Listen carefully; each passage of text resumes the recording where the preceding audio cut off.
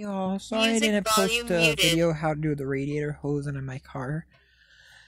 I had to bring a refrigerator to my house today because my fridge died last night after I posted one video. I went out to get a Klondike bar in my last video and it was melted.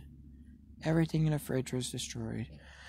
So today I went and got a fridge, tried to put it in my Ford Taurus wagon. I do not drive, but my mom drives me around and stuff. And I also have friends that drive me around. So we put it in my wagon it wouldn't fit. It wouldn't even fit in, it was too wide.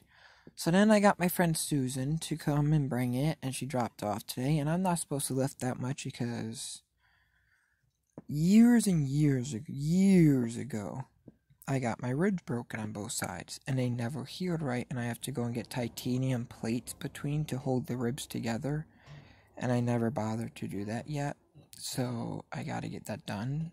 But long story short, I'm not supposed to be lifting a lot of weight, but I did because I live in a mobile home and I had to carry the fridge up the steps with a hand cart, but still lift it to pull it up the steps. And I'm in a little bit of pain today. I do apologize for not posting the video of doing the radiator hose, but I promise I will have it done tomorrow. And I will have the video of the car that got destroyed. But I promise you all, I'm good.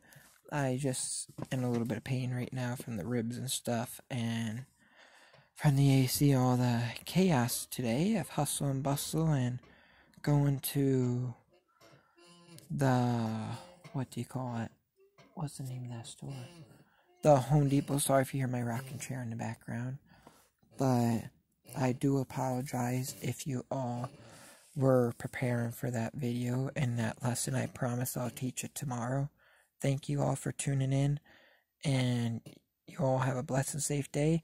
Look forward to seeing you in the video tomorrow how to do the auto repair, and I will teach you how to change a radiator hose. It's very simple, and I'll also show you the car that I'm rebuilding. Thank you.